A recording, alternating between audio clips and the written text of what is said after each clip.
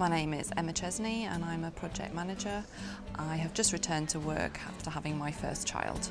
The role I was in previously, um, it wasn't suitable for um, part-time hours, so I sat down with my manager upon return while I was on maternity to figure out what we could do about a more flexible um, role for me so I would still be part of the team and still feel valued and it wouldn't impact my career too much. Um, and we've worked it out and it's, it, it's going really well.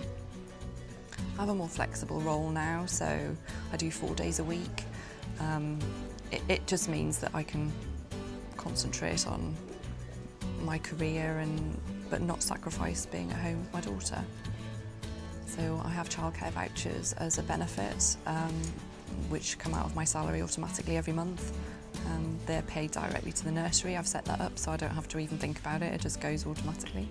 Um, there's the gym um, I'm a member of, so hopefully trying to shed a bit of baby weight.